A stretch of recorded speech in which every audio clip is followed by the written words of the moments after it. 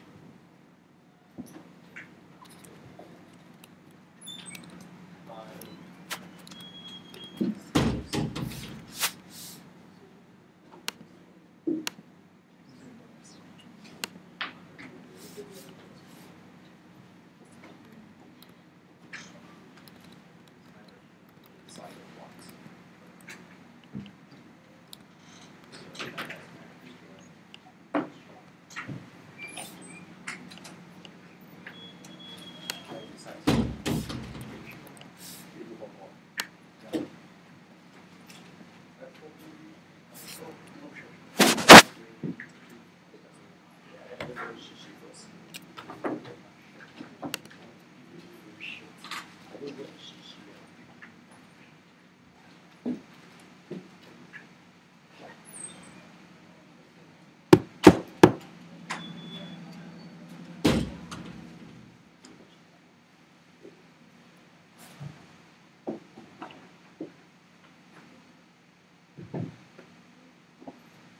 How come all the seats in front are empty? You guys are the classic students, right? Everyone in the back. There's plenty of space in the middle. You don't have to crowd over there where you can't see anyways. You, you can just scoot over a little bit if you want. Don't be shy. So uh, today we have um, our folks that are doing week five, recurrent neural networks and language models. Can uh, we just get a show of hands who from this team are here? Can you guys all stand up for a minute? Uh, let's first thank them for preparing all of this hard work so that we can uh, get the benefit of their study. So again, how this works is that the presenters will present, um, and I think you guys can come down to the front. It'll be a lot easier if you guys are in one place. Um, and then what will happen after that is, or concurrently with that, the questioners for week five will be keeping our Slack channel busy and then also helping to instigate some discussion. Okay, so uh, if you're assigned in the uh, next couple of weeks, please look at the model that we're evolving with this. And the questioners are also responsible for coming up with a, a, a post in Slack. Uh, you don't have to do it in Slack. If you have a Medium channel or, or some other blog utility, just put it up, okay? Because there are lots of people who uh, would like to know it, uh, uh, this type of uh, work, and any type of tutorial information, even if there are some errors in it, still worthwhile to put up, okay? And it will help everyone in the course. So um, you don't want to do it on, on publicly, just do it within Slack, okay? So there's a, a function within Slack that you can use this function right here uh, to create a post right? And then uh, it'll pull up a, a, box or something that you can put up a, uh, something, uh, a message that you can compose, okay? So yeah. I think uh, Joe put something in here already. Okay, so great. Um, let's go on. You guys uh, remotely can hear me, I hope. Uh, you can just put a thumbs up on the Slack channel if you can hear. Okay, and we'll let um, our team go ahead. Let's see, go back to Chrome, go up the other window. Okay, so uh, who's gonna start? We're missing Jin, right? Jin's, uh, so when he gets here, I guess we can start. Is he the first one. one presenting? Who's the second? Who's the first one? You're the first one. Okay. Why don't you go ahead and start when you're ready? Yeah. So hopefully Jin will walk his way over. I guess somebody on the team can alert him. Um, okay, so this week we are going to talk about recurrent neural networks and language models. So I will start off with by introducing what really language model is, and then it will then leads to why we would use recurrent neural networks to do language modeling. So to put it simply in English, language model is just about predicting the next word given a, a sequence of words. So in this example, it's basically the student open their something. So is it a book, is it laptops, exam, minds, etc. So it's basically a predictive uh, task. Right? In mathematical term, it's basically a conditional probability of the words given the sequence of words before it. So you use language models every day. We use it our phone, our soft keyboard, Google search, and in a more general, uh, in more specific language model is the N-gram language model, where we it's a very classical modeling of the language model. So what it just do is just basically chunking out uh, the sentence into a fixed length of words. For example, uh, uh, five gram is basically a two two uh, a two tuple of words. And what we're going to do with n-gram model is basically to collect the statistics, right? Counting how, counting them in the corpus and then use it to predict what is the next word going, going to come. So first of all, we need to make uh, simplified assumptions about it so that we can you know, be more uh, specific about the model. So we are going to assume that the words that we're going to predict depends solely just on the words that come before it. As you can see from the first equation.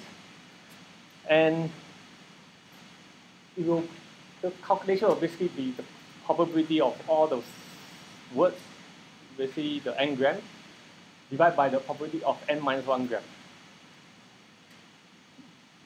So how do we like get this n gram and n minus 1 gram? So first, uh, we can actually approximate it by counting them in a large corpus of text.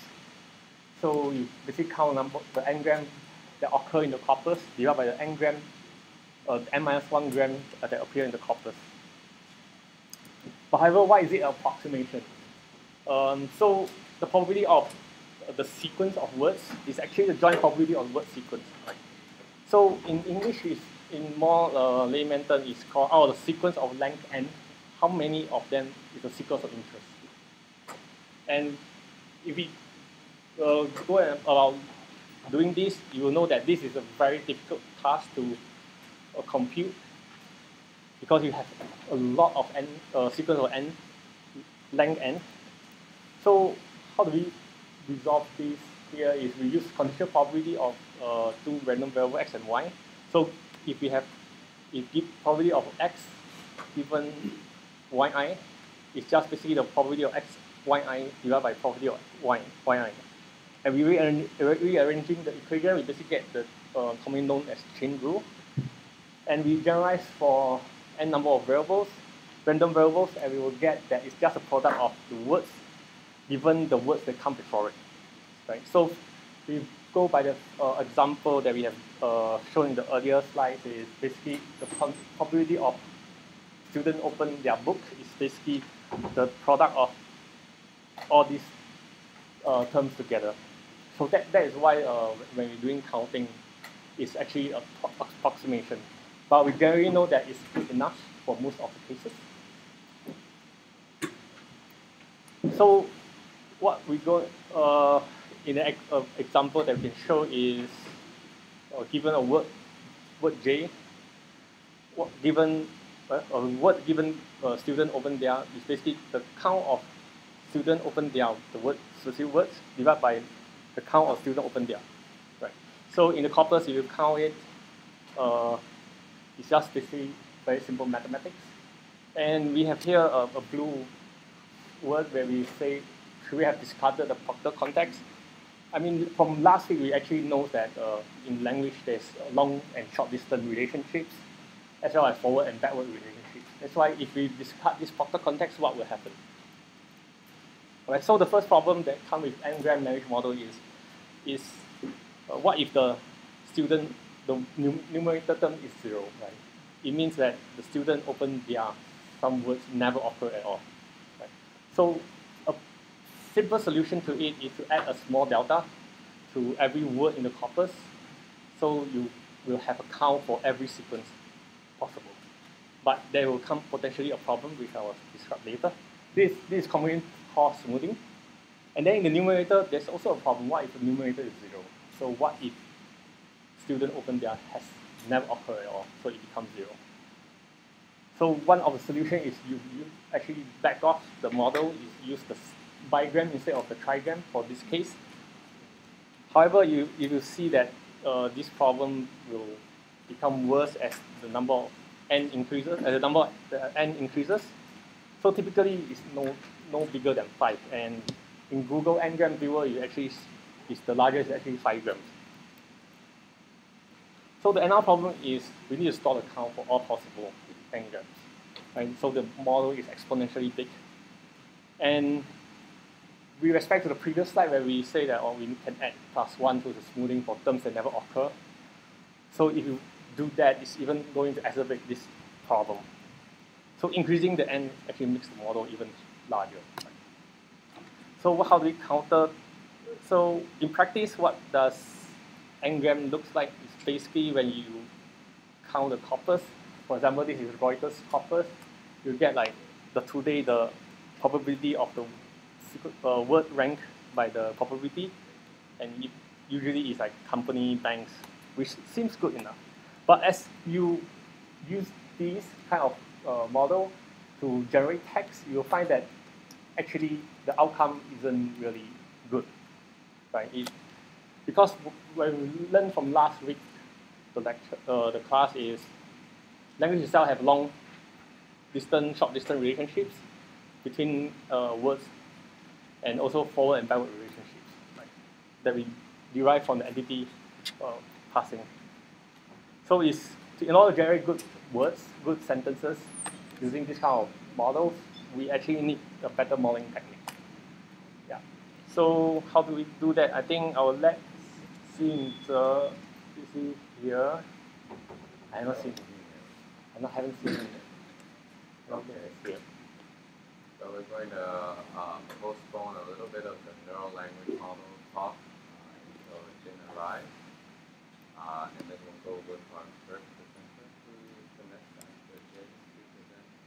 Um, uh, I think we have to, uh, because I'm going to do about back presentation for, uh, for okay result. Uh, Okay, so you need to discuss RNN before um, that competition. Did you have anyone else wanted to make a Can point? just ask a question? Sure. So firstly, you talked about the single benefit slides. Which like, Uh, yeah, this slide, right? So when you generalize the, the generalizing formula seems to see some sort of uh, property. So is this like an assumption? Uh, this is actually not assumptions. This is actually, the assumption is already stated upfront. The n-gram model depends on the sequence of words that come before it. Yeah, but the thing is that uh, if you go to the generalizing the Mm. formula for this should be probability of xk given xk minus 1, xk minus 2, and so on and so forth. Yeah, but it's a product. This is a product. Right? You generate all the terms that come before. So if you have five of them, you have five terms. Yeah, but the only conditions of the previous one. No, it's a product. So you're getting all, all one Oh, through and oh, so this sorry. is entire history. Right, right. Yeah. This is the entire history. So it looks like a bigram, but it's not. It's actually a mental probability. Yeah. With all, all the other things. But usually when you go through an n-gram language model, you can't afford to keep the whole, whole history, right? You imagine from the first word the user said to the nth word, like 100 words down, that's too much vocabulary to keep in. So you usually have to truncate it, right? Which is what uh, Yuan talked about, how you might use just one word as um, background or context that would be a model, right? And um, uh, you probably know Google has something like six or seven, even eight gram language models, um, which are big, of course. Uh, everyone is a vocabulary size larger. Uh, they publish the Google Ngram corpus, which is up to five grams, which is already pretty big. Um, but of course, in production,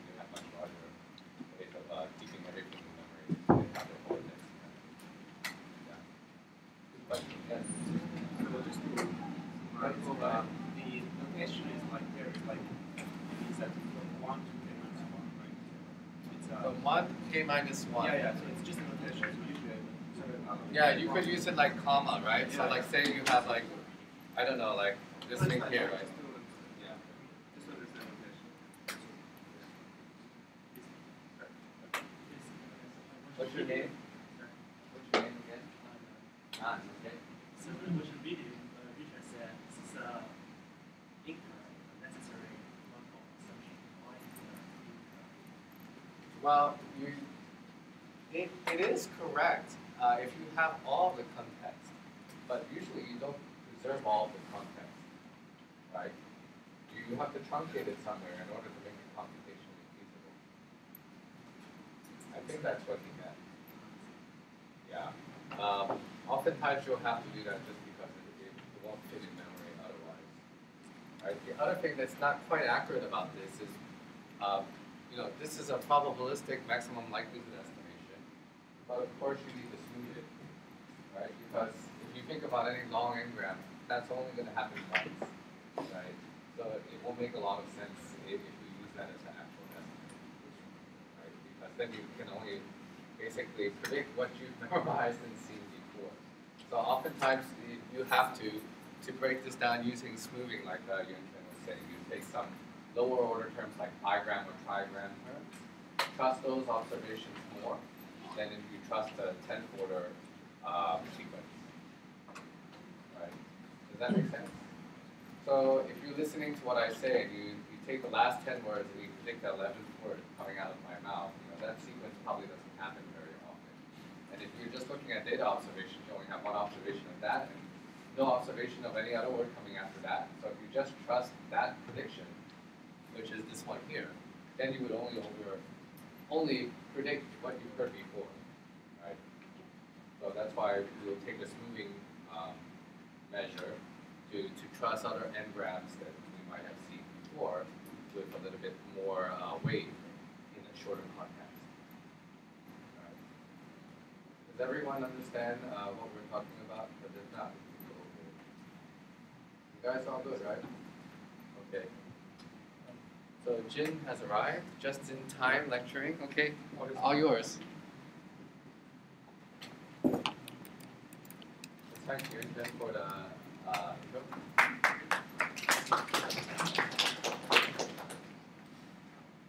Yeah, so uh, first of all, I gotta profess I'm not like an expert in this, so I might say the wrong stuff. If you, for those of you who are familiar with the topic and you realize I say the wrong stuff, please feel free to stop me at any time and point out the mistake. All right? Okay, cool. So um, we just uh, went through the Ngram model, and we are now interested to know like how can we sort of build a neural language model using uh, uh, uh, uh, deep learning. So um, before that, um, I want to. We, I know we briefly went went through uh, softmax in the earlier part of this course. Um, I just thought that this would be an opportune time to, to give a more slightly formal, not as formal but more rigorous definition of what softmax, is about, um, and and of course the cross entropy loss, which we'll cover in a bit. So um, mathematically, this is also known as a normalized exponential function, the softmax function also known as a sigmoid function. It's a generalization of the logistic function, right? And the reason why we want to use the softmax is that we want to provide some kind of probabilistic interpretation uh, of the classification prediction. And one point, or rather, it could be one caveat, is that it's much more appropriate for mutually exclusive classes. Because what during training, what, what the model is actually trying to do is that it's trying to push the values of a correct class to positive infinity and the values of a wrong class to negative infinity. So it, implicitly, it's trying to say that it's only one correct class and all other classes are wrong, right? So, um, so this is how the final output layer will look like. Um, so in this case, the fan out would be just like uh, four values, z1 to z4, and we have a softmax function, and we simply apply this uh, item ele element-wise to the output vector, and we look like that, and, and it looks like that. So the sigma rep represents the softmax function, and basically what it does is that it's doing a summation of all the observed classes. So um, where, where it's raised to the, so e raised to the value of whatever we see here and summation of that, and we take the value of e raised to that divided by the summation itself. So I didn't explain it in the most articulate of ways, but seeing this function, I think you guys understand what is going on, right? Okay. Um, so some question like, why do we why, why do we want to use the output values as exponent to the natural log base? What, what, what is the intuition behind that? Yeah, so you can, the, one of the hints is that you can think of the, the range of values that the output layer has in the output vector. So from Z1 to Z4, what kind of values these are? So I mentioned just now that the, the correct value will be like positive, a very large number, and the, and the wrong uh, the wrong values or the wrong classification will be a very, very, very, very small number. Right. So why, why do we want to do this exponentiation?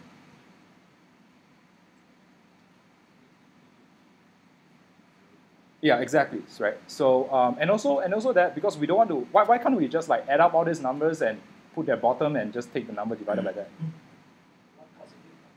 Yeah, because we have positive and negative numbers, right? So so the problem with adding up negative numbers is that it's yeah, it will not be we, we will not end up getting our desired result. So we want to raise Yeah, exactly. We want to get absolute values. Yeah. So yeah, we just raise it to E uh, as, a, as a base and use the values as exponent. Okay, but this is not quite good enough. Um, actually, this will result in problems. Um, so uh, in practice, we actually uh, add a, we actually subtract the maximum of the value that we see inside. Um, this is just an equation to prove that we can actually arbitrarily uh, add whatever number we want uh, here inside. We can just arbitrarily add whatever number and the probability doesn't change, the distribution doesn't change at all. And, oh, okay, I cannot move that. So why do we want to do that? Why do we want to actually add something? Uh, uh, so in this case, we are actually adding in, in, in, in exponent uh, log c. And usually is that's, that's taken to be the negative of max of a. And why is that the case? Yeah, exactly right. Because remember that I said that what the output layer will try to do is to get the correct prediction classes to give it a very huge value. So a lot of time it can be really, really large. And if you use that as a power, you're going to get overflow. You're going to get infinity. And that's why we want to sort of deduct that value away from all the values that we have seen. So in this vector, we just see which one is the maximum, and we deduct all these values with that maximum, right? But in that case, we also end up with very, very small values. And why are we not concerned with that? Yeah, because e raised to the power of uh, something that's very, very negative is just simply zero. So we can deal with zero, right? We cannot deal with infinity. And that's the reason. Okay. Yeah, so now we talk about cross entropy. So what does cross entropy do is that it's simply a measure of distance between what the model believes is the output distribution versus what is the real distribution. So um, in the rigorous terms, I think they call it natural distribution versus unnatural uh, distribution. So natural distribution is the true distribution, and the unnatural distribution is what your model is outputting. Right. And it's simply explained by uh, this equation here, which I think is quite succinct. Um, and how you actually look like is that, you know, given a, an example, uh, there will be a correct class. So in this case, if our correct class is 1, the true distribution is simply like that. So it's 0, 0, probability of 100%, and 0. So if you do a dot product of this, you realize that it's simply uh, negative, sorry, negative 1 multiplied by 0.67, which is the log of uh, our value. So actually, this is simply negative log of 2x. Can you all follow so far? Because everything else is zero, so we just we just look at this, right? Okay, yeah. So with that, we are now ready to talk about a fixed window neural network, uh, sorry, fixed window neural language model. As we can see here, the output distribution is given by this softmax function. Um, so um, I, I, don't even know how to how to begin describing this slide. So maybe we can start off with the with the bottommost layer. So this is a very traditional feed-forward kind of network, right? We're not talking about anything recurrent yet.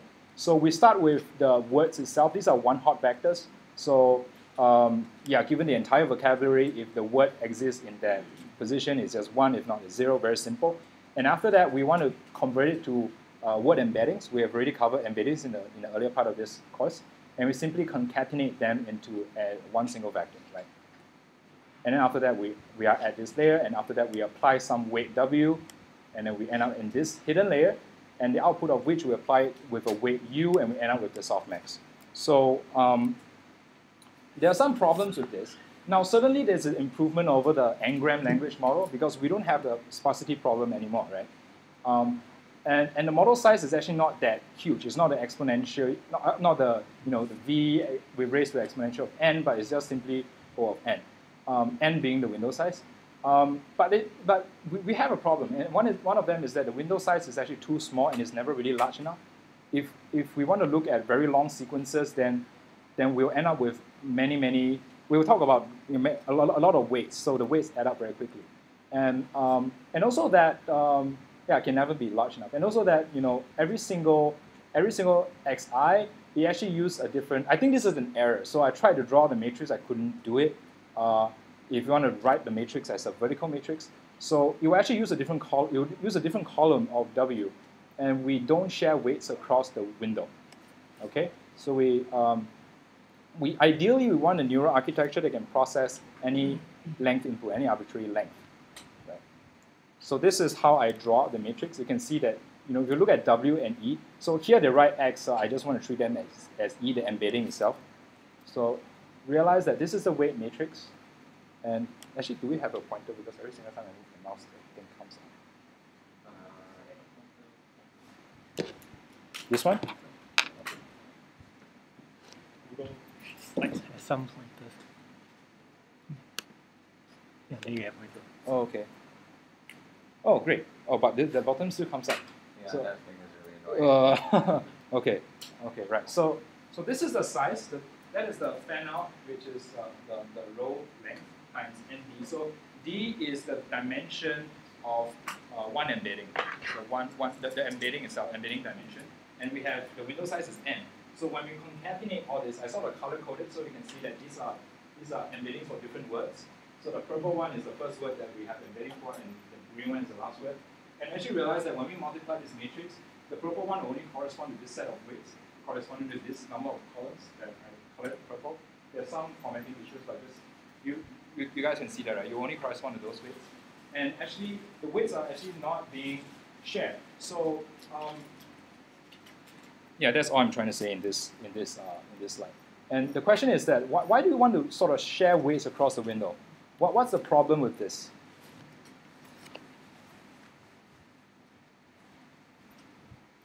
You guys guess? Right. So that was the first problem that we described. Right. You can never have a window size that's large enough. Like if you have, want to have more uh, uh, items in the or, or more items in the window, then then we'll end up with a lot of weights, right? Because they're not being shared. So we always have to create new columns of weights for those uh, new embeddings that come in. What else? There's another reason actually. Yeah. So, uh, if we learn one sequ- uh, sequence of words, then the weights learn something about them. And then if we move a little bit further, then the weight learns about uh, some other sequence, but it doesn't learn about uh, what, it doesn't Right. remember what. Right, so it's like that representation is not being captured well, right? If you want to do it in, in, this sort of discrete manner. So, um, yeah, so exactly that. So um, the number of weights will grow linearly with the number of time steps, just like a feed-forward network, because basically that's what it is. If you want to have more items in the window, we just need to create more and more weights, and that will explode very quickly. Imagine if we want to study an entire corpus uh, on Wikipedia, that would be a very long sequence. It would just explode. Um, and we also want to capture shared representation across sequences of text. So that's why we that that was not a good model. This is not a good model. So how might we want to do it? Is that we propose to do something like that. Um, you, there are many different ways to draw the diagram. So some, sometimes you always see this. Um, you might see this very commonly. Um, so this is the, oh no, the embedding comes in from the bottom is multiplied with uh, a weight that corresponds to the embedding. I just denote it as W with subscript E. And it goes into that uh, hidden neuron. And the hidden neuron will, uh, given from the previous time step, will have outputted at h at t minus 1. It multiplied that with uh, W with subscript h corresponding to that h that it just output. And from that, we can actually output a new h. Okay, so it, it seems kind of confusing because this is this is recurrent, like a recurrent kind of model. Um, so what people usually represent this is some kind of unrolled out um, um, um, sequence. Yeah, so we can visualize it as a feed-forward network unrolled across time, and I think this is a lot more common that we see. Um, and the core idea is that we want to apply the same way as W repeatedly. So the W applies to the output uh, H. So you can see that you know this this is feed this is fed to the to the next time step and the next time step and so on and so forth. And input, the input sequence, uh, theoretically, it can be of any length. So this thing can go on forever, right? We just keep on reusing the W over and over again. And if you want to have intermediate outputs, we can if you want to do that. Right? And these are the hidden states. And this is basically the same neuron. Okay? Right, and this is how the, the matrix for W, uh, WH will look like. Um, yeah, um, is there anything? Yeah, there's nothing special that I want to talk about this. I just thought that I want to you know visualize the shape and, and make more sense out of what's going on. Um, and likewise for your yeah, so the, the, the, the more important one is this matrix. So it's WE. As you can see that now we just correspond to to one word embedding, and so all the weights are sort of being shared across the different words that come in, right? So this is the the weight sharing that we were talking about previously, as compared to what we see previously it's just that you know, every single embedding is every single word has its own embedding concatenated into one long uh, sort of vector. In that case, they only use selected columns, but now every single embedding that comes in will use the same weight matrix. So far, so good. Any comments? Yeah.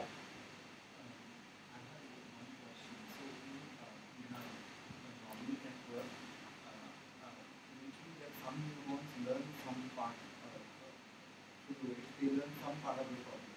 But if in a recurrent network, is there a problem that uh, um, well, something we learn is getting unlearned and, and right because they will uh, function the same way. All right. Actually, I was, when I was looking at it, I, I had the same problem. And to be frank, I don't have the answer to that question. So would anyone want to provide your input to that? Put to the floor before I try to answer. Any of you have some input? Okay, the question is, if we're using the same W matrix for everything, doesn't that wash out some of the signal that we might have, like, for example, positional information? When we're doing all this weight tying, that's usually a good thing in terms of tackling overfitting, right? Because you don't want to have too many parameters. So using the same set of parameters for all the inputs, right? But do we lose representational power doing that? What do you guys think? Let's take a poll. It's more fun that way. All right? Everyone has to answer. You've all had your dinner or caffeine. Okay, you have to put up your hand for one or the other. Ready? Yes, we lose power. No, we don't lose power. It's good. Okay, so the answer is it depends. Right? Like all good answers. Right? But uh, the truth of the value is, is uh, yes, you do lose representational power. Um, it's good to do the weight tie when you don't think the position uh, matters much.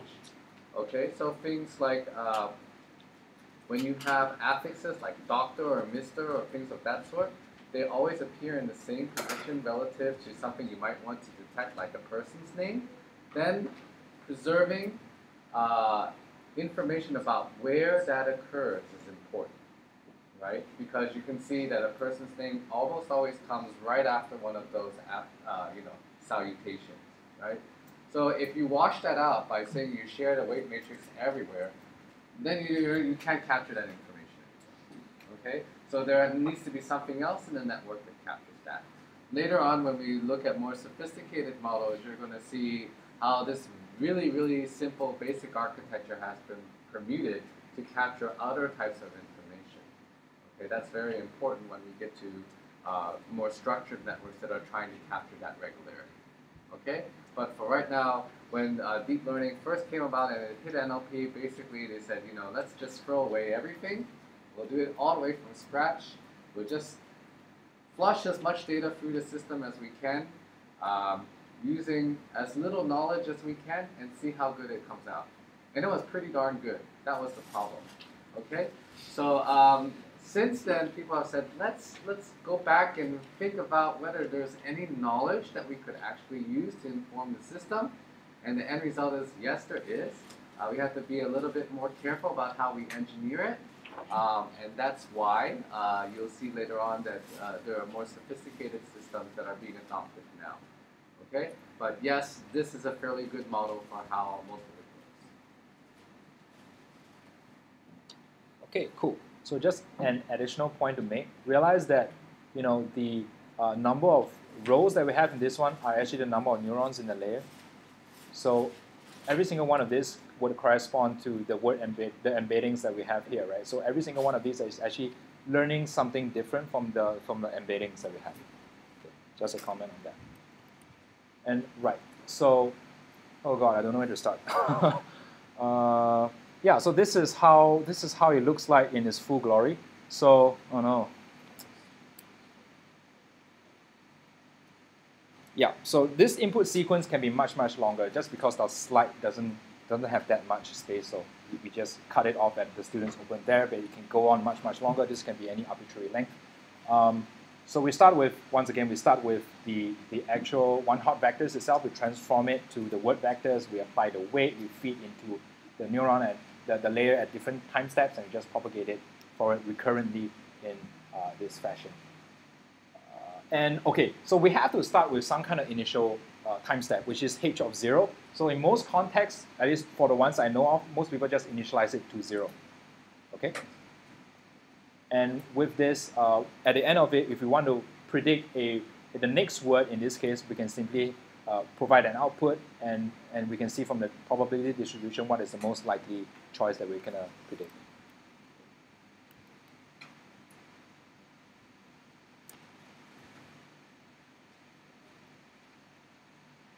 Sort of getting that?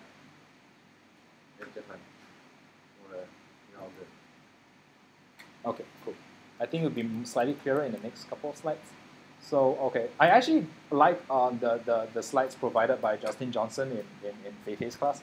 So, uh, a lot of times we actually realize that, you know, these are actually the same W and this is, you know, all the same W. So I can actually write it like that, right? I mean, in, in this sort of computational sort of graph kind of uh, representation. So we, we start with, by the way, is there a name for H? Is there like a, I don't know what to call it. Like, just call it H. Okay. Hidden state, hidden state vector. hidden state vector, right. So, so yeah, so in this case, we can see that, you know, right, actually, I think this, this graph is sort of self-explanatory. Um, it's exactly this, but then now we're sort of pointing to the source of where the weights come from. And I think it's a lot clearer. Of course, they use uh, the, yeah, this one didn't draw the, the output weights and whatnot, so this one uses L. So that it's clear what this graph is different from the other one. Uh, so in this case, the we'll talk more about this in the applications of RNN and what it can do. You can like predict the next word. You can also predict a sequence of words based on what you what you have in the current sequence. So many to many will be the case that you know, given a sequence, I will, I want to output a sequence of words based on that. So we actually haven't talked about that architecture yet, right? The That RNN architecture that we're talking about is you feed in a sequence, get out one observation at the end. So that would be many to one. There's another slide from their deck that says many to one, but didn't take out this one. So um, this is when, in the case where you want the RNN to decode another sequence, right? So this is the famous sequence to sequence, uh, well, sort of, yeah. There, there's a couple different variations on that. Yeah. Good. So uh, yeah, so the question is, when I was when I first saw this, I was thinking to myself, so, so what's what's recurrent about this? Why why do we call it recurrent neural networks? Right. So so I, I'll answer that. Um, so if you Come on, guys, this is your midterm question. So there is a loop in the system is always. Yeah, we can think of it as a loop, and, and, and I think one of the definition I've seen is that you know it's a it's a type of recursion where it's time sensitive. That's why we call it recurrent because it recurs across different across different time steps. But we see that the formulation is exactly the same. So we have the, this sum function with parameters w. We take in an old state and we take uh, and we input the current uh, the current uh, embedding for, for the word itself, and we output a new state, and this doesn't change. Right? So that's why we call it recurrent across different time steps. So the recurrent part is just that the weight matrix is conserved, right? We're tying the parameters together, and we just keep on using the same weights all the time, right? In, in training, we're training the same set of weights at every time step when we're backpropagating it to a C Right. So, um, so it clearly has a lot of advantages in that it can actually process any length input, any arbitrary length, right? Because the, the we don't have a concept of a window right now. This sequence can go on forever, right? If you want it, theoretically, of course, given enough computational power. Um, and the model size does not increase because we don't need new weights. The weights are always retained. Um, uh, and in theory, computation for step t can use information from many steps back. But later on, we'll see that this is actually a challenge. Um, and also, like we have mentioned just now, weights are shared across different time steps, so representations are shared. Okay, and of course, the disadvantages is that you know the recurrent computation is actually somewhat slow, and in practice, it can be very difficult to access information from many many time steps back. Yeah. And I guess in the next week's lecture, we'll talk more about that. Right, and how do you actually train it? Um, first of all, you want to get a big corpus of text, you know, um, which is a sequence of words and then we just feed into the recurrent uh, neural network learning uh, machine. Um, and we can compute the output distribution for every step t, and we simply add up all the loss, and we take an average, and that will be our loss function. Everyone everyone can follow that? So that will be the cross entropy loss, you know, softmax followed by cross entropy, and we just take an average of all of, all of them added up. So you're always predicting the next word. Yeah.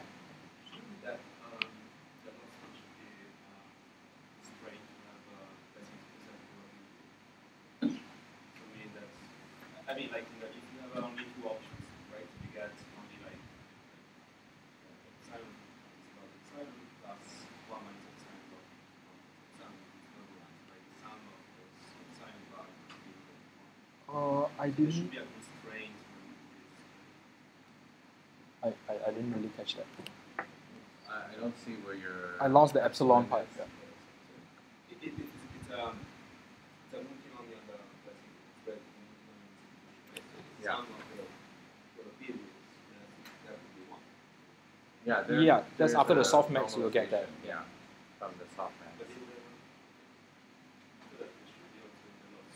It- It's probably not written in. Oh right, I, I get you're looking at the y right. That y actually y should be after the softmax. So this should be the softmax output. Right. Then we apply the cross entropy loss to get this. Yeah. So the basic idea is that maybe the notation that they use they abuse it a little bit, but the idea is that we just take an average of uh, uh, the loss over the entire training set. So always we compute the next word and, and, and we compute the loss based on that. Yeah, so this is the actual walkthrough of the example. So in this case, based on this, we know, oh no, sorry about that.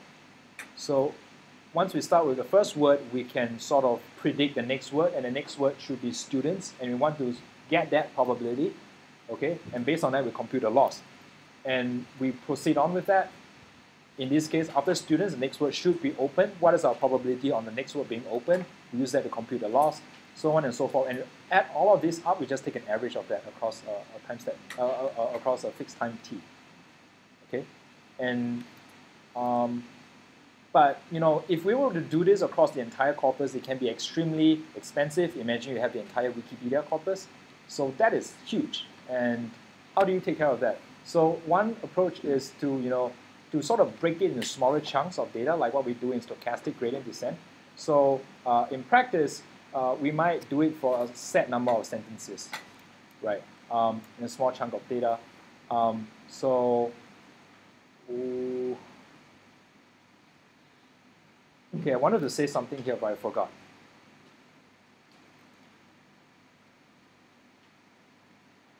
Or, or rather, okay, I, I, I, yeah, so this, this slide is just to visualize what actually happens. In the output layer, we actually output the probabilities. We add up the different probabilities, compute their loss, and we take, take an average. So this is somewhat a, a more concrete examples of what happened for a very uh, simple uh, uh, example.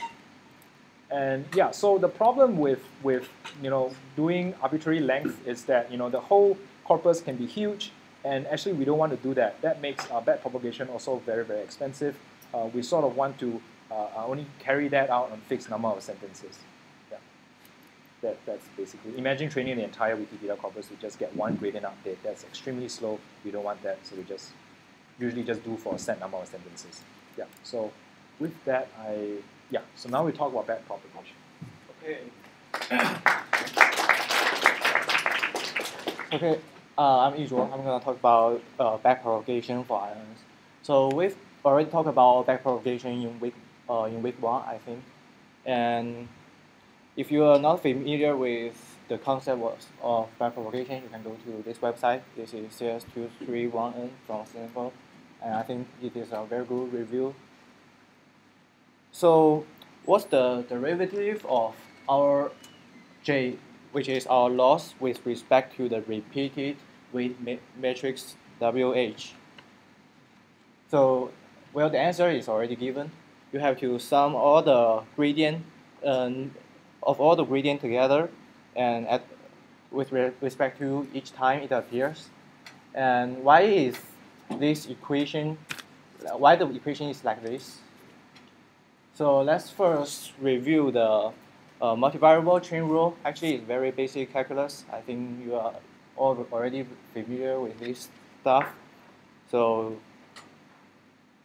so I won't be talking about this uh, too much. Okay, so let's start. Uh, let's have a math class here. Are you interested in math now? Yes. Yes. Okay, great. If no, you have no choice. We have to go through this.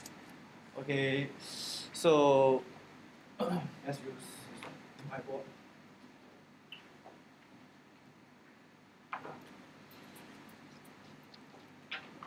Okay, let's start with these equations first.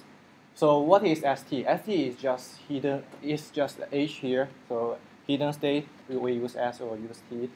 And ST is equal to tangent H. This is just a, uh, any uh, activation function. You already know uh, tangent H is x is equal to Ex plus E negative X dx uh, minus the power of negative x. And u times uh, xt. So xt is just the input. It's just our input. We can use this. This is more. X is just our input, and st is our hidden state. I mentioned that, and e is just our uh, loss function. And what is y? What is yt here? Yt is you after you get a hidden hidden state and you multiply it with uh, another uh, weight matrix and you do the softmax and then you can get yt. Okay, so let's derive this equation starting from these three equations.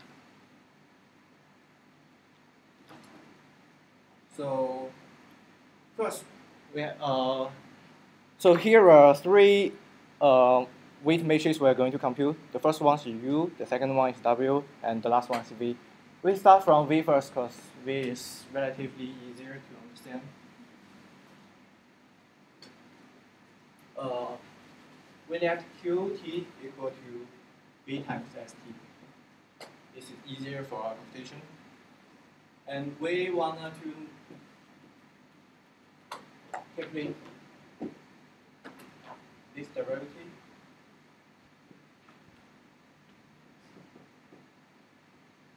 Recall that V is actually a matrix, so ij is just the uh, ith column or jth row, ith row jth column or uh, this uh, this uh, element. So this one equals to recall our multivariable chain rule.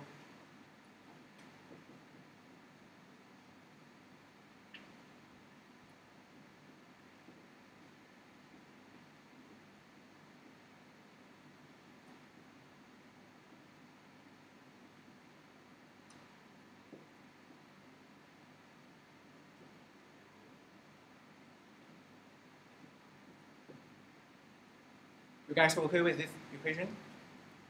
Yes? No? Any question? Okay, so we're just going to calculate this one first, and then this one, and then this one. Okay, so first for this should be uh, this, this derivative should be easy because it's just the derivative of your uh, log yt times log yt. Uh,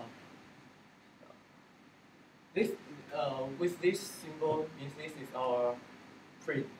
This is our prediction value, and without this, just yt is our actual value. So it's just so we take e our of the base of log, so it's just log. So the derivative is just uh, one over y t k. K is the because yt is a vector. K here refers to the kth element of that vector. Okay, so this is just uh, the first the first one, and then we're going to do the second one.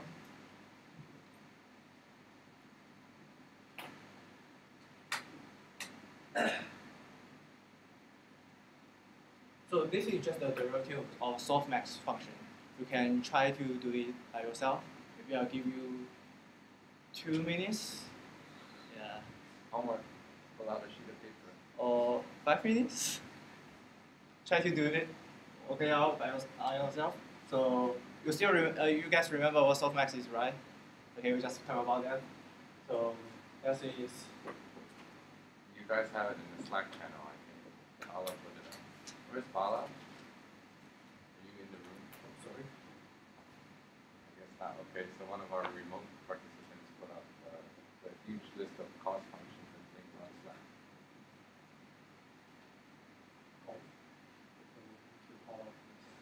Okay.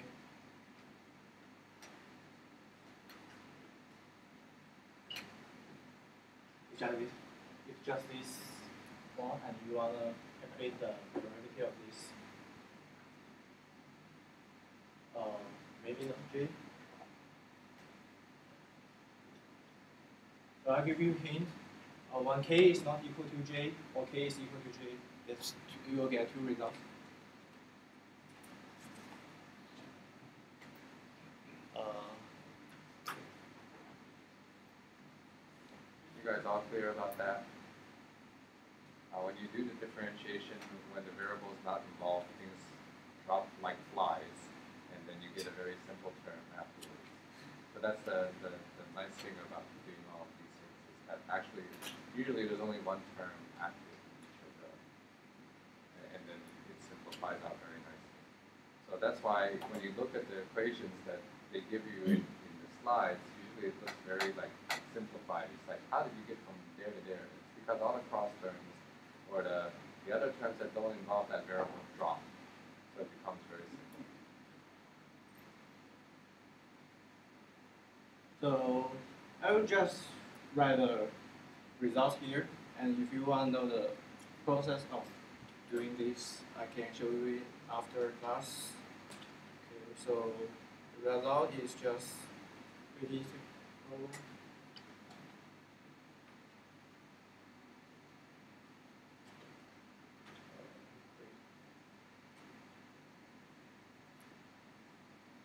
This is when k is not equal to L, and when k is equal to L, you will get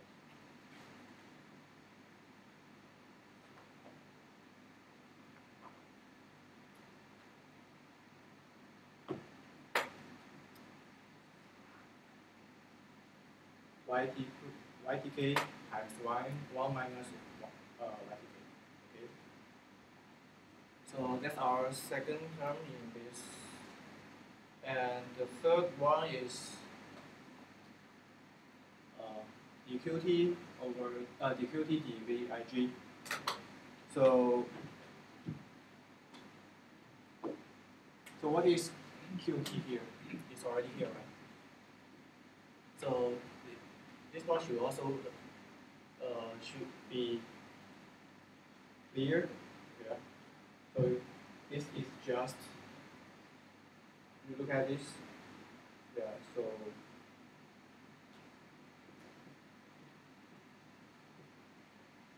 so let's say uh, let's write qt as uh, that qt is also a vector.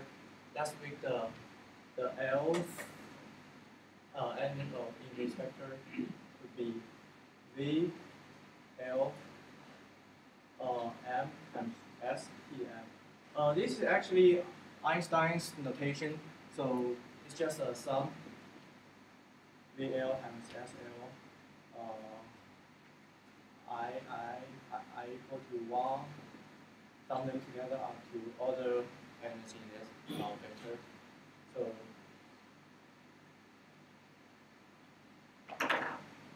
by using Einstein notations, you don't have to use the big sigma uh, sum uh, symbol. So, okay, so it's just this one. So we replace the Q, QL, uh, QTL with this. So,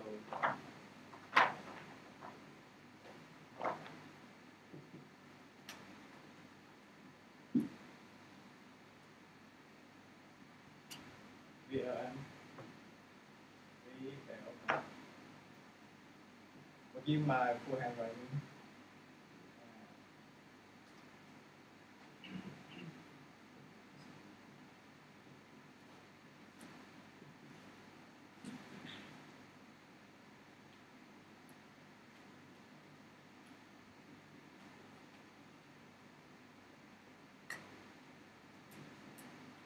You guys know this delta, right? So the delta i j, if i equals to j, i equals to j, then it's just 1. i is not equal to j, then it's just 0. So this Direct filter. Uh, direct You- you filter. can use the other whiteboard So here, the VLM, the VIG, if I is not equal to L, J is equal to not equal to M, then this is just zero. So, so here we have uh, delta IL, delta JM, and times STM.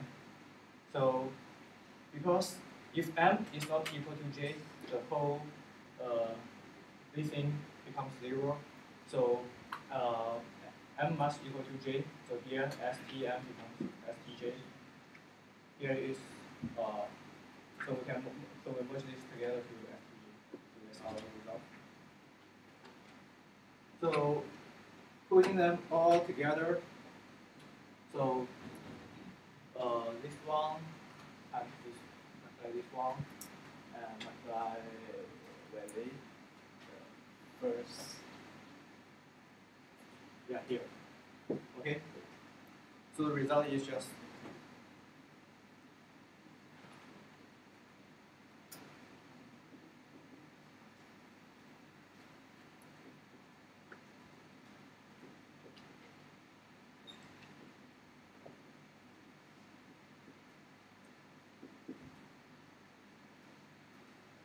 So this is for uh, one element in V matrix.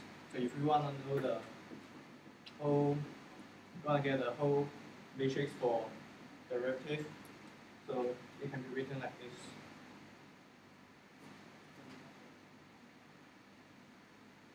So this is outer product, potential product. Okay, that's it. That's for. That's how we get V. That's how we get uh, matrix for this week. Okay. Next, let's go for W. Okay, so, so this is what I've done just now. Oh no. So we we have already finished the left left part. Now we move on to the right part. How we get the derivative for W. just to check how long do we need for the W part? Uh, similar like this. Okay, so maybe we'll, we'll skip the, all of it so that we can get through all the presentations. How many more people need to present? Joshua should do. I think Joshua should be right fast one. Okay, and maybe you can finish it up since it's quite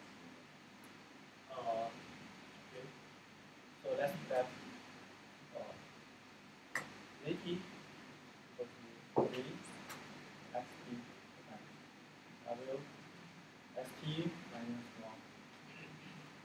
Okay. So let's Okay.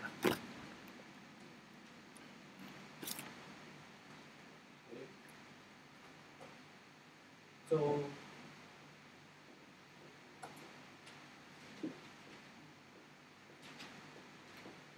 we also have to use multi-barometry rule.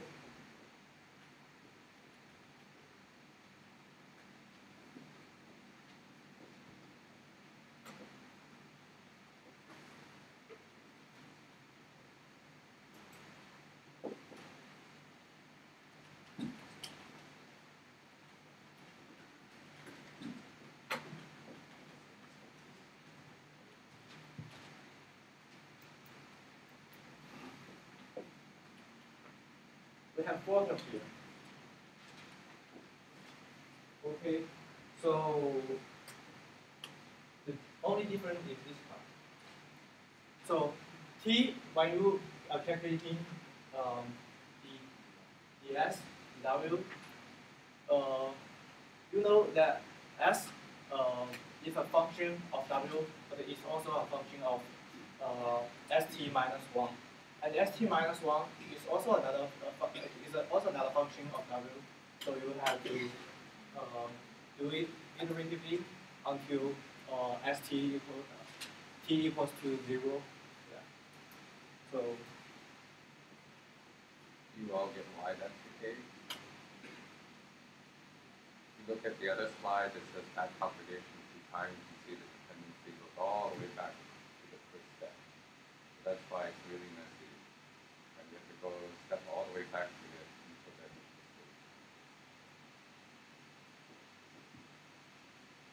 okay, so this one is you just uh, regard the um, st minus 1 as a constant and you uh, calculate the derivative of this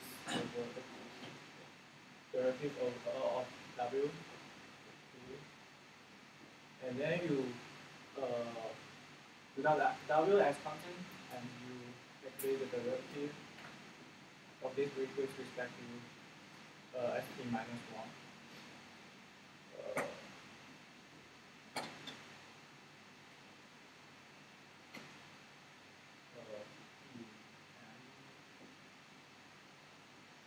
Tm is the because st is also a vector, so Tm is the mth uh, element of the vector. It should be written as t minus one, t minus one, and f element of f minus one.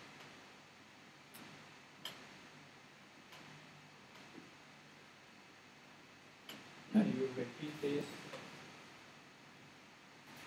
and finally we can get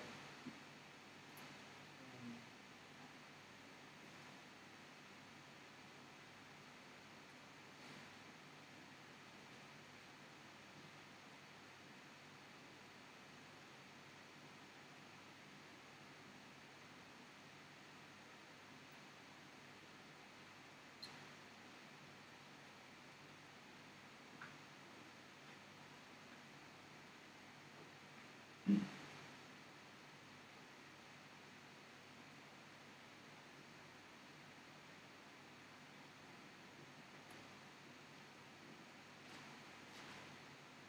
SRN is uh, you starting from are starting from zero all the way to the number uh to the current time t now. Okay. So I, I will just give you the final answer of the whole thing.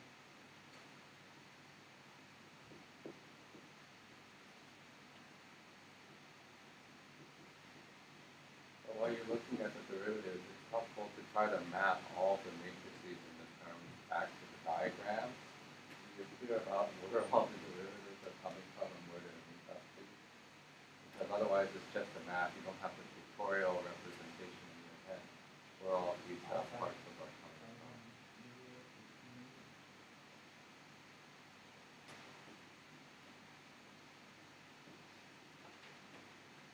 Okay,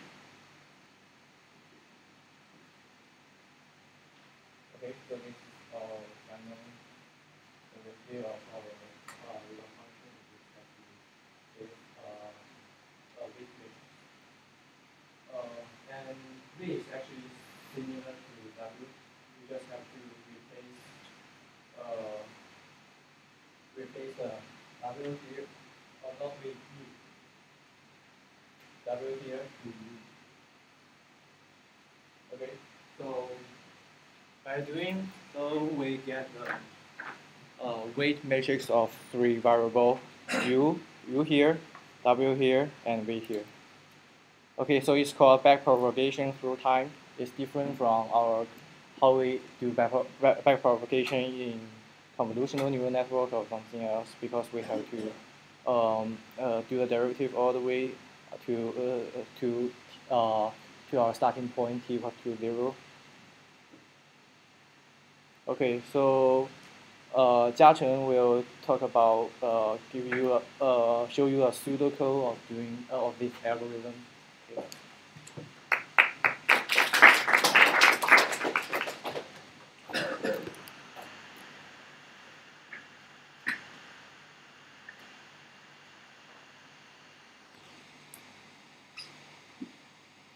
Uh, I'll show I'll show the pseudocode at last uh, because also not very familiar with this. Uh, I'm a newbie in the machine learning and I'm taking the CS 3244 this semester. Yeah, and also interesting, so I come to for this class. Uh, so just now they, uh, I think Jingzhe uh, mentioned that uh, in the RNN we can like we can change the we can we can change the data like uh, as high as we want, but with uh, as as as as we want if the computational uh, uh, capacity allows, but there's uh, some problem with uh, this uh, when we do when we do the back, uh, back propagation for very long sequence of data. Yeah, so these are two problems. One is the vanishing gradient problem, one is the exploding uh, gradient problem.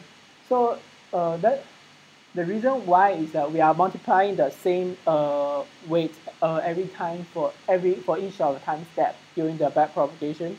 So if the if the W is very small, after a few steps the, the gradient will become like near to zero. So you can't you can't get the information uh, of the uh, of like uh, ten or or even like twenty words before the information of of the the information of the like the the words before yeah. Yeah so the other if the w is very big is uh, w is very is big then after uh, multiple times of multi- multiplication then the gradient will become very big will be uh will go to infinity. So it's called the exploding uh gradient. Yeah, so as you can see in the uh, natural language processing, the gradient can be seen as the the measure influence of the past on the future. So it's the past words on the, the future, the one you are going to predict. Yeah, and uh, this vanishing gradient problem will cause a problem. So when you predict predict the next word, the information from the many time steps will be lost. Yeah. So this is contrary to the to the uh, what we what we want to achieve by the RNN, which we, we need to like uh, include the information long before in the yeah in the word sequence. Uh, I think uh, next lecture will talk more about more about this uh, problem, and these are some some uh, measures to counter this counter this problem. So first is the gradient clipping method. This to solve the problem of the exploding gradient problem. So when the gradient is becomes very big, we like clipping to the your the set limit. They will uh, normalize kind of normalize to a smaller value. Yeah. So in this way, you can avoid the exploding gradient problem. Uh, next two, uh, the next one is the use of initialization. Use a different uh, special initialization for the weight, and also use the a different the REL US is a different kind of the the function as comp- as compared to the just now we use the the tangent h right. Now we can use a di- different kind of the the function. Then we can get uh, get a better result uh, to avoid the, the vanishing gradient problem. To, at least to ease the, to ease the problem.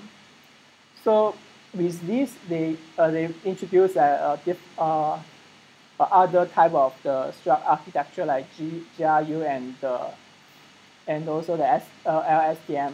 But this will I think will, next lecture will talk more about this. Uh, the other problem is the is the when we when the word sequence very long, it will require a lot of the uh, computation power and also very slow. So well, one solution for this is to do the truncated uh, backpropagation through time. So they still uh, mm, so I got the, the graph representation. There's a, there's a word. So they still go through each of the words, but there's a two uh, two parameters here. One is the K1, one is the K2. So for every K, uh, for example, the K1 is like 10. So for every 10, 10 words, we need to update the uh, update. Uh, we'll we'll do up, uh, for every 10 words. We'll go back. We'll go to do the uh, back propagation to update to update the uh, the loss function. Uh, to update the weight. Sorry. Then uh, the length of the back propagation is defined by the K2. Yeah. So for example, if the K1 is 10, you can K2 is at 8. So you go back 8 words to do the back propagation. Yeah, so the, the below is the explanation of the K1 and K2. You guys have questions about that? Yeah, just uh, if I anything wrong, just point out. Yeah. And uh, this is uh, some it's a notation for this uh, truncated backpropagation through time. So we have two parameters. The first one is uh, NN. N is the length of the sample, so it's just a classical back propagation through time. While the other is the variation of the of the truncated backpropagation. Uh, the first one is uh, one one N basically. So up uh, for every word you need to update you need to go back update the, the weight. And the second one, yeah, the second one is, is heavy relying on the internal. I think the internal state is, is just the, the hidden state as well. It's, uh, it's same as hidden state. And the third one is the, the third one is what I showed like just now is like the, when the K, when the K also is different, when the K is smaller than K2. So that when the K is 10, the K2 is 12. So uh, it go back more, you update more. So, and the last one, yeah, so when the, the going back and the going, uh, going forward and going back are same. Uh, so when we do the truncated uh, back propagation, we need to prepare the sequence data. So there are some uh, some some different methods. So first one is that if your your sample your sequence is small, like uh, hundred words, then you can just use the data. Yeah, when your K one is large, like hundred, so you can just uh, you, you don't have to divide. The second one is just the naive data split. If you have like thousand, you just split by like hundred, hundred, hundred. Yeah, use to train. The third one is a domain specific. It's a so in uh, NLP you can uh, divide by divide them by the sentence, uh, different, uh, how many sentence is, as, is one group. Uh, the, uh, the third one, uh, the first one is the cinematic data, so we can do a quick uh, search. Yeah, so it's to do some some preliminary search and uh, to find the best performing module on the average. Please don't do that. That's very, very uh, uh, computation heavy. Yeah, And, very uh, it, it's basically an engineering solution to the problem, right? It's just like I have lots of electricity. My startup is rich. I'm gonna search everything without thinking about it. Okay. So please do any of the other ones. Okay. Don't do the last one unless you don't care about having Earth around for the next generation. Yeah. Oh, last one is the is the pseudocode, but you can take a look. I really don't really understand it. Sorry about it. You can take a look. Uh, anyone can help explain, and I'll be very appreciate. I can learn as well. So, uh, anyone care to try to give a narration of what it's doing?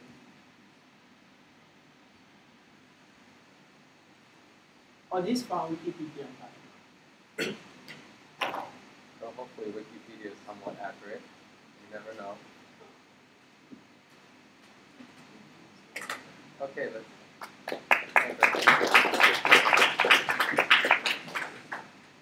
So if you'd like, we can put this particular slide up into the Slack, and uh, you know, you guys can try your hands at decompiling it. I know there are a couple of you like Nan who wants to do some of the tutorials for the Stanford class. I think that's a really great idea if you want to invest more time in another math. That's a really good thing to do. Uh, not all of us have the time. I would have loved to do it when I was your age, but uh, I'm, I'm beyond that capability now. Um, so live vicariously through all of you. So please go ahead. Uh, I'm Junsheng. I'm going to talk about RNN applications. Um, after introductions of RNN, we all want to know how we can use RNN. And that is some example. We can use RNN for language model, uh, sentiment classification, machine translation, question answering, and even speech recognition and some time series prediction. And this is an RNN language model, just like an n-gram language model. We can use an RNN language model to generate text by repeated sampling, and the target output is the next step's input. We can see it in this figure. And we, we have uh, we have one output of each input, but in some other tasks, we only need the final output. So we don't want, want to uh,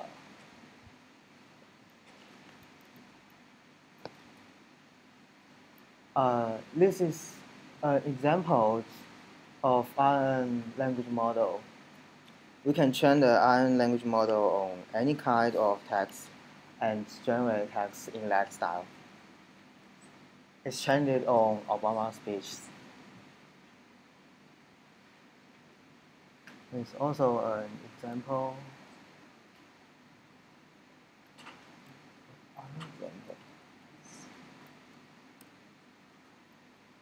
So also we can train it on the character level. Uh, we, we don't need to restrict to the uh, word level and in the character level we don't uh, we don't need to use the word embedding. Just use the one hot. And after we got the language model, how can we evaluate it? A traditional evaluation matrix for language model is perplexity. It's like this. And we want the lower perplexity. So minimizing perplexity and minimizing the loss functions are equivalent. Actually, we can see the log perplexity is equal to loss function.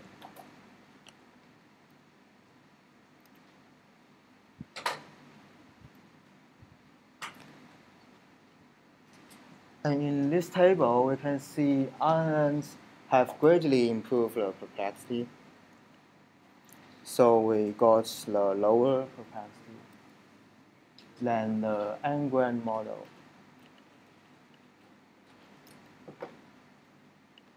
And why should we care about language modeling? I think language modeling is a fundamental task in the NLPs. It can help us to measure our progress on understanding language. And it also a subcomponent of other NLP systems like speech recognition and machine translation. They are called conditional language models. But we should re remember recurrent neural network is not equal to the language model. Language model is a system that we need to predict the next word. But recurrent neural network can do uh, more things. It's a family of neural nets that takes sequential inputs of any length and apply the same weight on each step. And optional, it can produce output on each steps.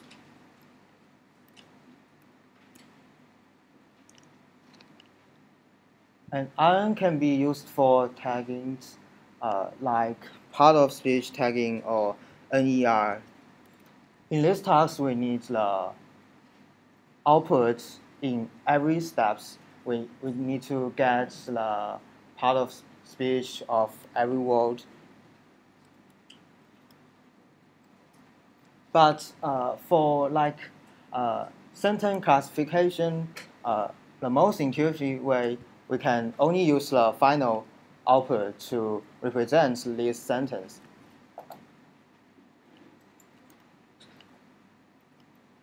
And in this task, we try to say uh, this sentence is positive or negative.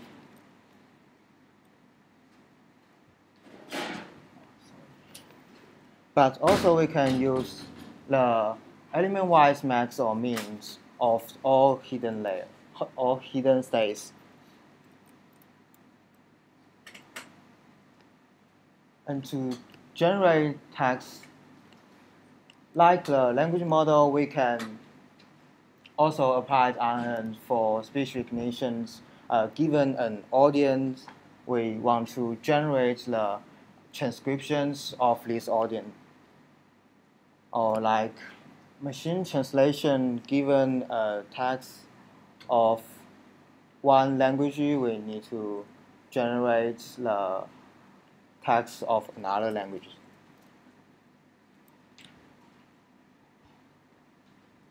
And also we can use RNN for getting the representation of the sentence like in question answer is we want to encode the questions probably by using element-wise max of hidden states and maybe we can also combine with other informations uh, like in uh, visual question answers probably combine the representation of the images or videos. And here the RNN is part of a large neural system. Okay, thank you.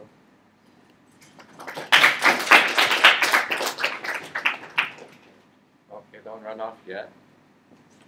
Um, so first, let's give a big round of applause to everyone who did week five. And if you weren't paying attention on Slack, we can forgive you because there's a lecture going on. So uh, we do want you to spend time watching the lecture, but there is, uh, again, part of the duty is to give everyone who's participating in this class uh, two channels of information, right? The lecture as well as what's going on in Slack. So do check out the Slack, uh, participate in the Slack channel if you can. Questioners for this week are uh, responsible for compiling a set of uh, one post of some sort uh, to try to put all the resources together, and then uh, we'll we'll try to publish that either on Slack or in some other medium. Okay. Um, while we're still around, I'd like to point out some deadlines. Yes, we have deadlines in this class. Okay, uh, for what's going to happen. So uh, this is week five, right? So let me do that. So week five is here, recurrent neural networks and language models. And next week you guys have a deliverable. This is a preliminary project. Okay, sorry, you can't read that, so let me blow it up. Can I blow it up? Let me blow it up. Okay, maybe not. Okay, anyways, uh, how do you do this? It is really, really simple. So for those of you who happen to be in my other class for undergraduate uh, machine learning, uh, that one is a lot more sophisticated. So uh, what we do is you move over to projects, okay, the project, uh, and you need to join the channel. And all you have to do is basically just state what you might want to do. That is about it. So um, something like uh, like this, okay? Tentative project, predict housing prices with somebody else. You're done, okay? That's it. All right? You don't have to say much, okay? So we just want you to say what your project is about. Uh, it has to be something related, hopefully, to NLP or at least using one of the neural architectures, okay? And when you join the, the channel, obviously you can look at what's in the channel from before. I think you can scroll back. So I, I scrolled back to last semester when they were doing vision projects, so uh, you can see that some of them were actually doing vision. Somebody was being, building a, a singing system. Uh, somebody else was doing, uh, yeah, well, lots of different things that you could try. So uh, you can take a look if you if you find some of those interesting, you can do them. Um, the the posters are archived, so some of the, the students did the posters. So this was a um, biomedical project to do uh, nucleus detection. So um, you can take a look at what they've done. Okay, so uh, you don't have to do much yet. So I would suggest, you know, team up with somebody in the room, or when you go to the project channel, just say, hey guys, I'm uh, a PhD student in this lab, or I'm a research scientist in this other lab, or I'm from SMU, anyone from SMU in here uh, willing to do a project together, just spit out ideas, and then hopefully there'll be some takers. Keep our channels active. Okay, it's no fun if you're just studying in this room by yourself. We are here at NUS for a reason because there's a lot of people who can come together to learn things together and productively um, as a unit instead of you know people being fenced in various rooms. Okay, so that's what I would like you guys to do now or by no later than next week. Okay, uh, I won't give you much feedback on it, but uh, the idea is that from each other you can learn what types of common interests you have. Okay, that's one thing. All right. The other thing that I would like you to pay attention to is that our first segment uh, of class is ending fairly soon.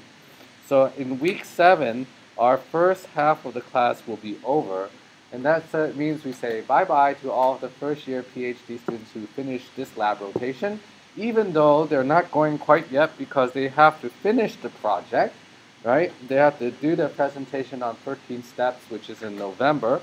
But to give them a proper send-off, I would like to organize an outing to a bar, okay, on the week of October 4th. Yeah, it also happens to be the midterm examination for my other class. Okay? But in any case, if you feel like having a drink uh, and then network with the wider community, we will probably proceed from here to the O Bar, which is the, the staff club close to the track and field. That one doesn't have a dress code. The other snooty bar that we have over here requires a dress code. So we'll go over there and have drinks.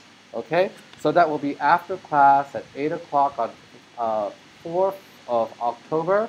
If you're game, come and give it, uh, have a, a, drink on, uh, not on us, sorry, I don't have so much money. I'm only a lecturer. I don't get paid a lot compared to those of you in industry. Um, you're welcome to sponsor, um, but never mind. Um, then that, that's all I have for you. Okay, so uh, make it a date if you'd like to join. No, no pressure if you don't want. Okay, that's all for today. Uh, those of you who are in week six or week seven and would like to use this room to talk shop about how to delegate things, please do. Otherwise, we will see you later. Thank you very much on behalf of Team 5.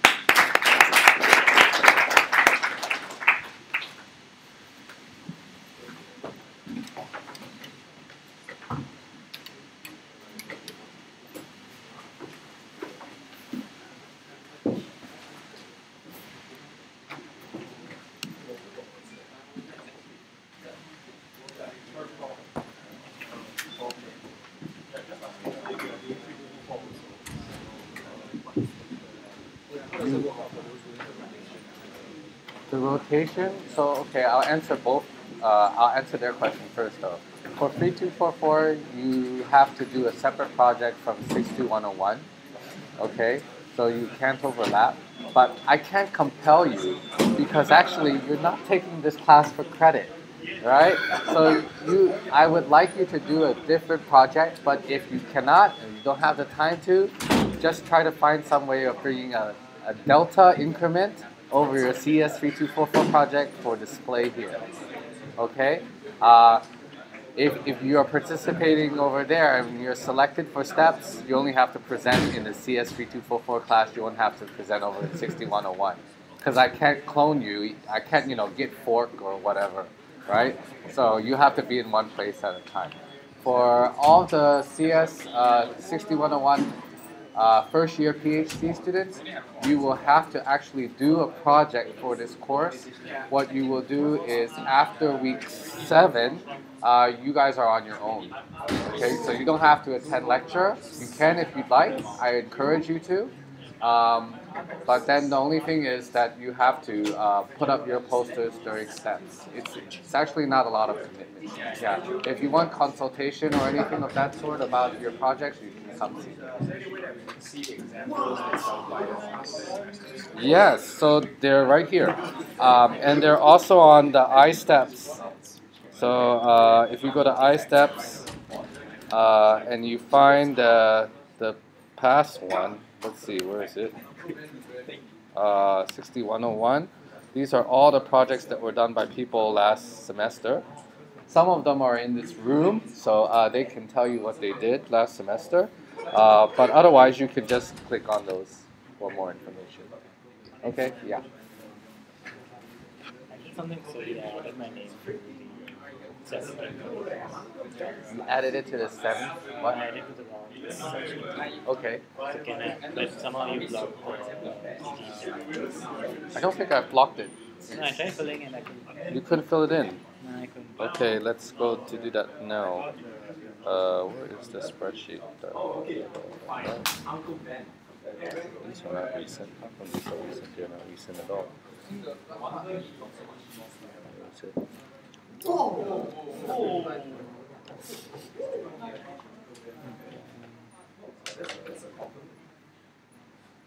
let's see. This I is the current one. Yes. I need you to add your own self here. Yeah, and then scroll over to put in your information about uh, which weeks you think you want to put in. Okay.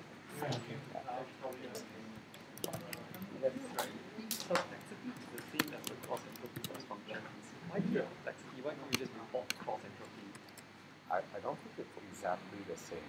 So uh, You lock yourself. I locked myself. Oh, don't don't put it here. Oh, okay.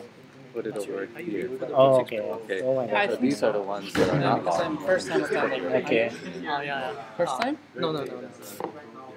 What what should we do? Oh, you're attending for the first time? Yes. You need to see, say which, in the order of, uh, just mention your preference, for which week you need to lecture. Uh, and then um, give the order of preference for moderating the lecture. So, so you need to do two things. One is give the lecture, and one is to moderate. So this one is the fifth, right? So we are left on six and seven. That's it. Now, um, No, I'm not taking the course afterwards. After? Yeah, afterwards. After seven, I think mine is done. Oh, you are a PhD Yeah, PhD is done. Oh, okay. Now six and seven is done. Uh, it's been registered for six and seven already mine, somehow. Sorry? Uh, that's what I see here. Yeah, yeah, I'm on the week six. Yeah, see, they already put me for. Ah, okay, okay, okay. He put it six and seven. Um, no idea what does it mean. Are you in six? I'm the moderator for six. You moderator. So someone is presenter, right? Yeah. So it's like, Nguyen. uh, do you know him? No, no. I think there is a. So you are on the Slack channel. Uh, yes. So you can just message on the Slack channel saying. The problem with this Slack channel is I don't have any group of project number six or seven uh, the, for, for the weeks. We should have some Slack channel for There is a. Slack channel. Uh, so, I can see it. okay. Oh, my battery is going to this one. Yes, yes, that is more than sufficient. Yeah, You need to click. challenge now. That's way beyond the scope. Then there are other channels here.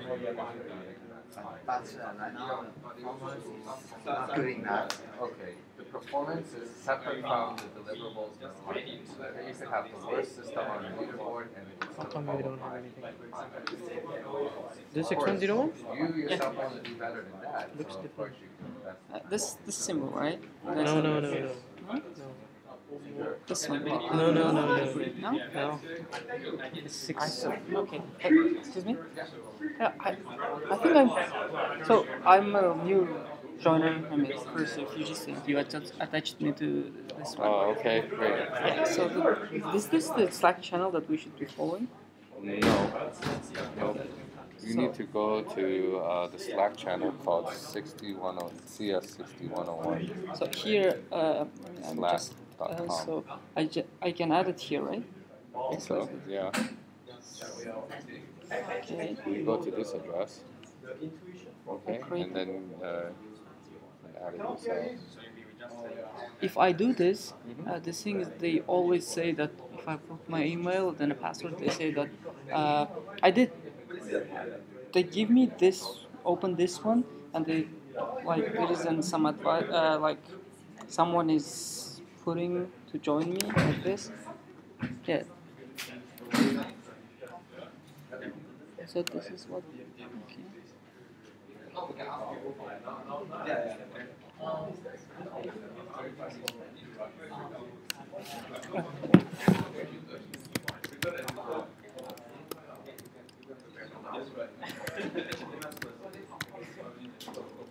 Okay.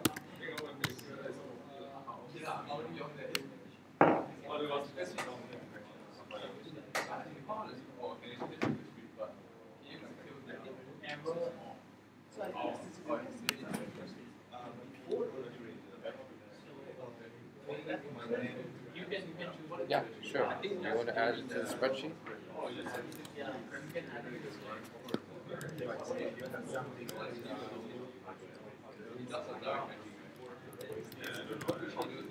Um, scroll, scroll, scroll. Out. This, oh, is this on the wrong? Yeah, write them down. Right.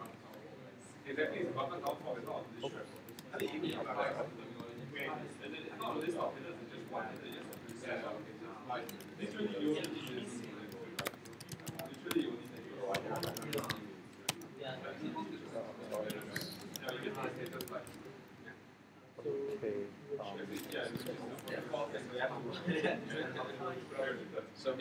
One is for presenter and one is for moderator. You can choose more than one because I will fill in the rest.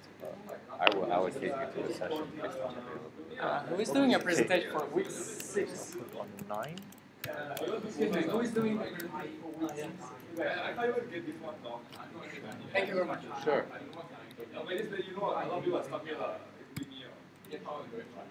Oh.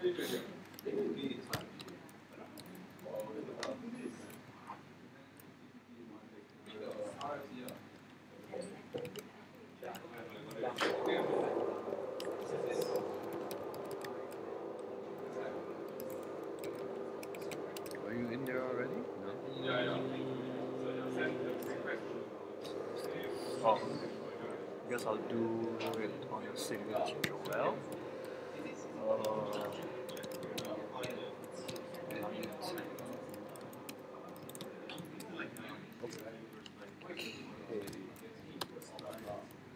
Right. Okay. Thank you. Great. Thank you. Yeah. Uh, so last week I talked to you about funding, So I get it. Great.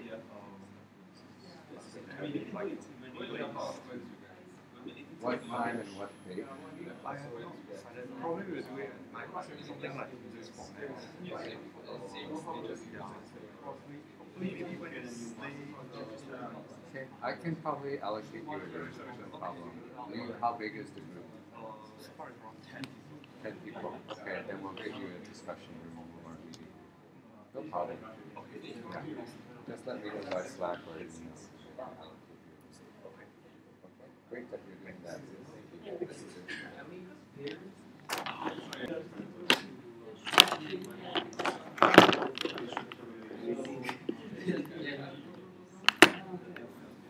Thank you.